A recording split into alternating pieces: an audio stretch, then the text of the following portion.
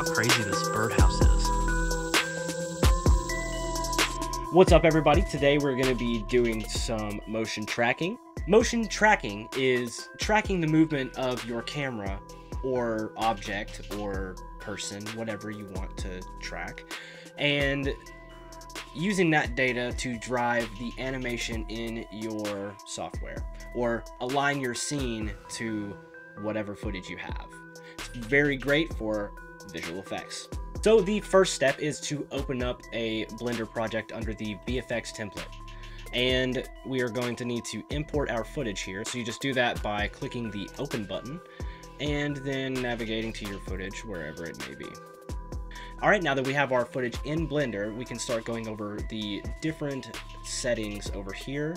And so the first thing that we're gonna look at is the clip settings, which if this is collapsed, then you just click the little arrow to open it up. There's set scene frames, which sets the amount of frames for your scene, which is located here, as your timeline. And the next thing we're gonna do is click prefetch, and this is uh, dependent on your RAM, on how many frames it prefetches. I got about 129 frames for me, so I'm just gonna go to 120 so we can have it all smoothly play back while we're working here. So the first thing we're gonna look at is how to place a marker. You can hit control and click right here to place a marker and you want to place it on a point of high contrast and something like that. If you want to widen the search area or the pattern area, you can do so by clicking S to scale and then opening that up here. I want it something like that. And if you ever want to see what this looks like from really zoomed out, just click on this track right here and that shows you what it is. So the next thing we're going to do is go through and select our tracking settings here. I will go over the detect features and add and delete a little bit later. So there are different types of motion models and you can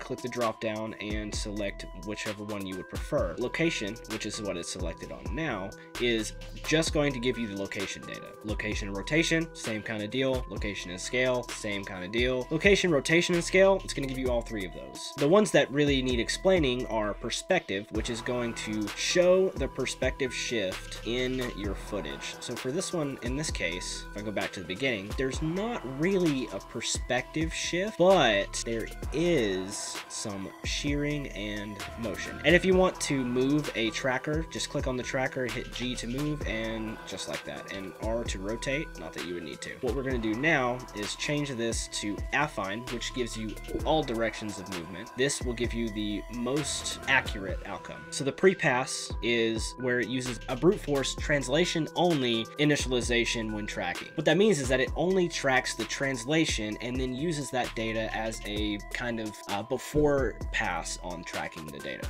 And normalize will normalize the light intensities while the tracking is happening. And that does slow down your track a little bit, but it gives you better results. Uh, basically, it boosts the contrast and does some math to, to do that. So the next thing we're gonna do is go to the track right here. And these are all your track settings. And the track settings are going to basically give you everything that you need for your particular tracks right here. So you have track backwards one frame, track backwards to the beginning, track forwards to the end, or track forwards one frame. You also have clear, where you can clear the track path going one way or the other, and then you can refine the selected marker positions by running the tracker from the track's reference point to your current frame. So here's the track reference point, which is 120. If I go here, I can refine from here to 120 and join and average tracks. Say I want to track a few things and some of them don't actually work how I want them to work.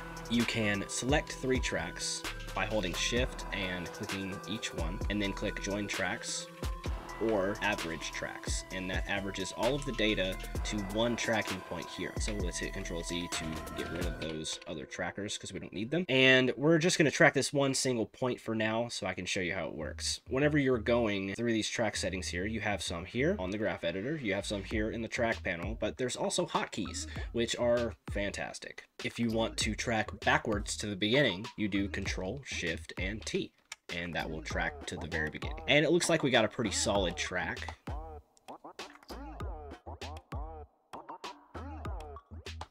But that's not enough. What we need is eight good trackers to have the proper motion in our scene, and Blender will not let you do anything less than eight. So in that case, we have all of these, but I think I'm gonna go to the frame that has the most information that's sustained throughout the entire footage, if possible, and just use that same frame that we used on the first one. If you want to lock a track, you can hit the L on the keyboard and that will lock the track. So what we're gonna do is we're gonna scroll back up here to this marker option and we have add, delete, and detect features. We don't care about add or delete because we use hotkeys for that. So what we're gonna do is click on detect features and this is going to detect a bunch of features in the scene in order to gain the proper motion. And what you can do is just select all of them with A and hit S to scale and that scales those up. So now we can have all these tracks and track forward to, or track backwards to the end. But we're gonna use hotkeys, so Control Shift and T again, again. Okay, so that didn't take as long as I thought it would. So as you can see, this is the graph or that movement in the scene and everything is tracked. But as you can see, some of these tracks didn't make it. That's okay, we will honor our fallen comrades by deleting the tracks that are a little too wild. We can go here and clean up a little bit. So let's go here and hit all of the tracks and do filtered tracks and then some crazy high number. So all of these tracks are probably bad, so we're gonna delete those. And as you can see, there's some stragglers down here. Down here. The red lines here are for the X and the green lines are for the Y as far as the translation here. All right, so we're gonna select all of these. And now that we have all of those tracks in place, we can go here and look at our solve settings. So if you are wanting to track footage that was done on a tripod, you would select tripod. This is things such as a panning movement, a tilting movement, or something along those lines that's locked off on a tripod and doesn't have any spatial only axis movement. And this keyframe button right here, that basically selects two keyframes throughout the entire footage that it has the most motion data. What you can do is you can click that and that will have Blender estimate what that is. There are some more refined settings here, so we'll go through those. This lets you refine your focal length if you don't know what was shot on. This came from a stock footage website, Pexels, hashtag not sponsored. I don't know what was shot on or anything like that. So I'm just gonna select all of these, every single one of them. That is just Blender guessing what all of the camera settings are. So after that, we are going to click on solve camera motion and this can take a little bit of time. It is selecting the keyframes first and then it will refine. All right, and it solved our camera motion, and now we have a solve error of 0.74. This track is great, but it could be better. What we can do is we can go up here to clip display and click on info, and that is gonna give us all of our pixel errors on the footage. So we have a ton of track marks. So let's go ahead here and see which ones we can find that have a pixel error of over one. So let's get a good zoom here and just go through and select all of these. You can also delete them if they are close to one, like this one. And if you want to see what all of them are again, just hit A on the keyboard to select all of your tracks. tracks. Okay, and now what we can do is after we've refined all of these keyframes and deleted the ones that have the larger than one pixel, we can go through and find ones that are over than 0.5 and lower their influence. And can go here, here, and then go over here to weight and just lower that to, uh, let's do 0.5. Just do that for all of the ones that you don't really want to have all that much weight. Now we are going to zoom out and we don't really need this anymore. So we can go to clip display and click info and just highlight everything again and click on solve camera motion again. And that was a little bit faster this time. And as you can see we have a solve error of 0.51 which is good enough for me. So go down here to geometry 3d markers to mesh or link empty to track. And we're going to select all of our track markers and hit l to lock them all and then we're going to do link empty to track. And that is going to, in our viewport, give us the tracking motion. As you can see, it is moving. Now what we can do is we can set what the floor is by clicking three of our track marks. You want to select three that are close together and click on floor and that is going to make that our floor. As you can see, the y-axis is lined up right there. There's our y-axis and you can also set as background and that is going to put it as the background. See the y-axis is right here on this line and it's fairly fairly good uh, but we can do a little bit better so if we need to adjust it a little bit what we do is click the camera and then hit R Z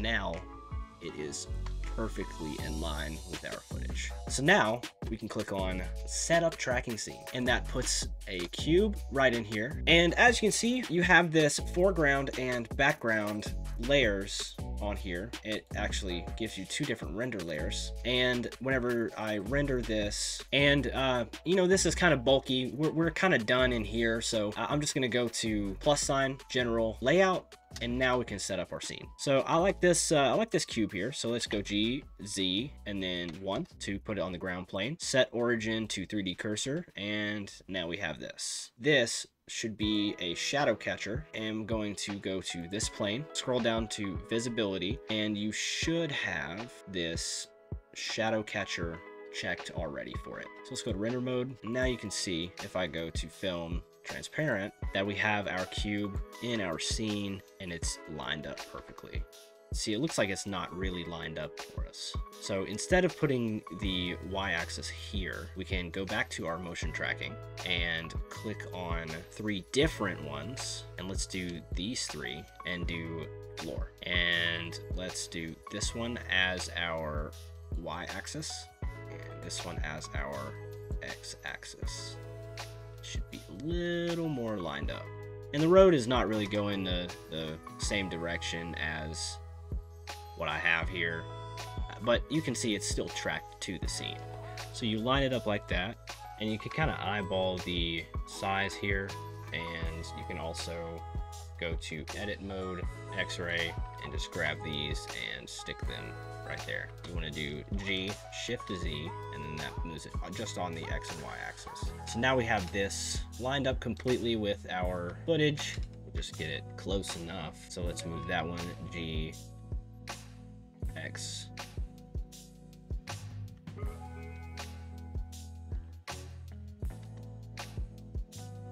And now it's lined up with the scene on there. So say we wanted to have it pop out, we can actually reline it up actually on here. And we're close, but no cigar. Stretch those on the y-axis a little bit. Now we have this thing and you know, what if you want to do a uh, kind of cool, a cool animation coming from underground? So just bring that under there a little bit, and then we will go back to our cube and click on the object data properties. And we're actually going to use shape keys to have this uh, kind of pop out of the ground. So we'll do one for the basis and then another one for the first key. And you can rename these by going to double click that and say pop and go into edit mode with this shape key selected. Grab the top two and hit G, Z to go up. And now we have a big kind of uh, wall coming up in our scene. Big black square, really. And uh, go back and you can see it's gone. So uh, what you do with this is you just go to the very beginning and you hit a keyframe on this value right here for this shape key. And then you go to the very end and then you all the way up to one. And now you should have a wall that pops up and it's coming up. But I don't like how slow that's going. So let's go here, grab this and bring it uh, about 24 frames. So then you go here and it goes up all the way up to 24 frames and then stops. And then let's grab it again at 96 frames and have the copy and paste flipped and that is going to give us the opposite of these keyframes with the underground for the first one above ground for the second one above ground for the third one and below ground for the fourth one. So now it's going to look something like this. This is wrong. What happened? That's okay. Uh, what we can do is just change this to 1 and then change this one to 0. And now we have this. We have a wall coming up. And then a wall going down. And these keyframes are interpolated as Bezier. So what we can do is bring this up and we're gonna change this to graph editor. So as you can see, this is our graph and it looks just like any other keyframe graph that you've ever seen. If you have not seen one, then there's a different video for you out there. Uh, so what we can do is we'll just focus on these two right here. Say we want to exaggerate the movement. So we'll grab this one and hit G, X, and bring that in, and then GX, and then bring that one out. So it should be a uh, swoosh instead of a just a gradual thing. So as you can see, it's uh, slightly different the way it goes up and then the way it comes down. So what we can do is click on our cube again, and we can go over here and just do the same thing and I usually go about as far as the other keyframe and still have it to where the S is just in one of these grid. So now it should be about the same.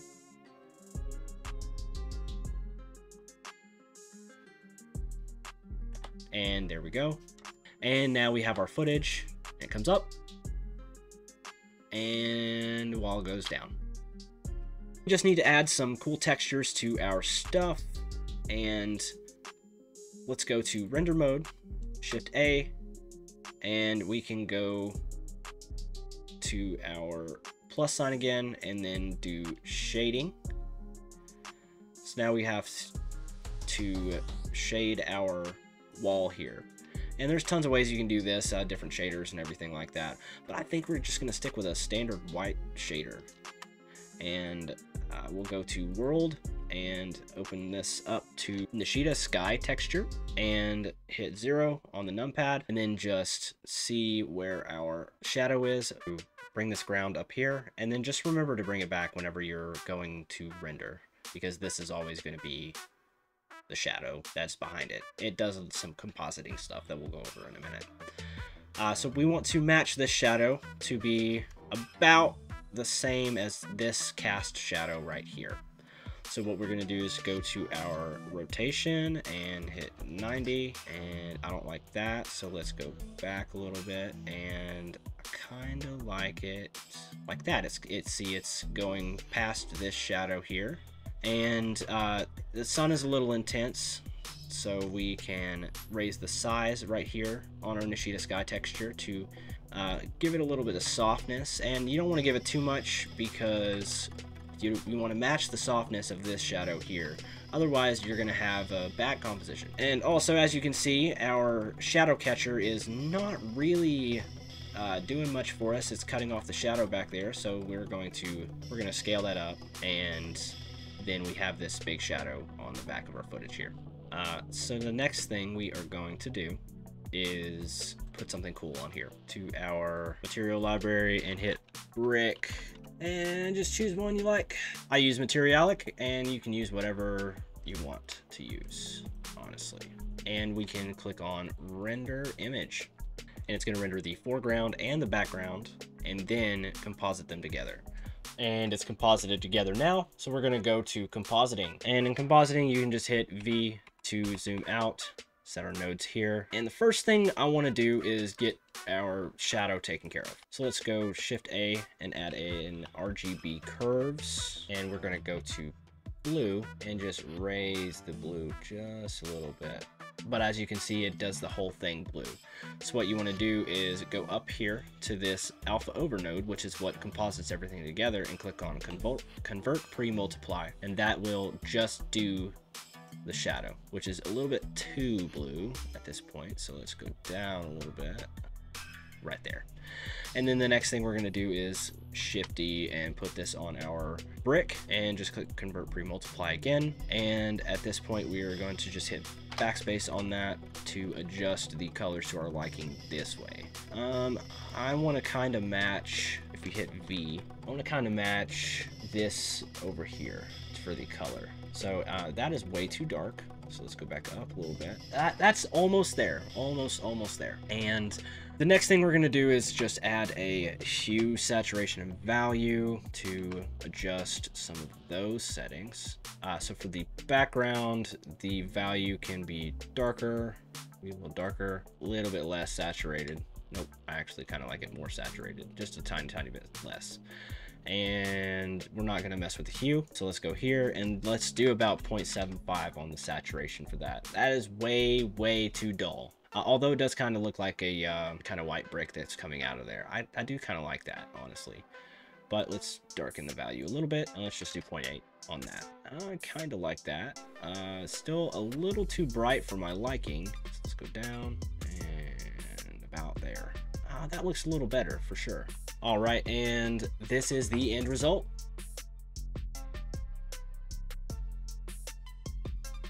Thank you guys so much for watching, and I hope you enjoyed the video. If you did, smash that subscribe button and hit the like and the bell for notifications anytime I post a video.